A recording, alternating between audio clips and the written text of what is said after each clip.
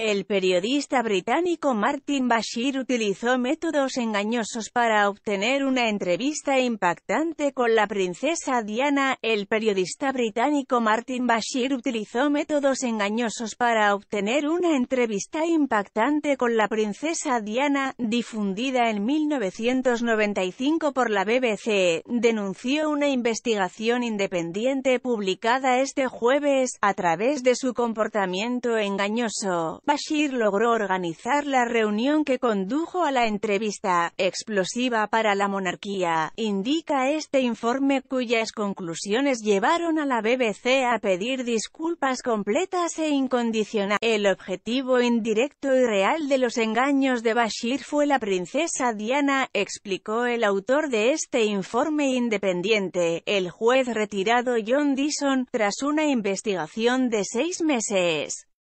Según la investigación independiente, citada por el diario Telegraph antes de su publicación, el periodista violó las reglas editoriales al falsificar documentos para obtener esta entrevista.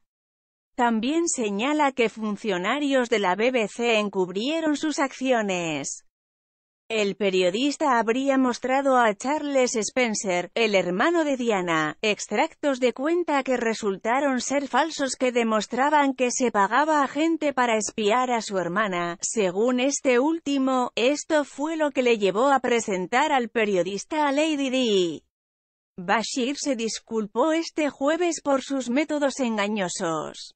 Fue algo estúpido y es un acto que lamento profundamente, declaró el periodista, de 58 años que abandonó la BBC la semana pasada, citando problemas de salud.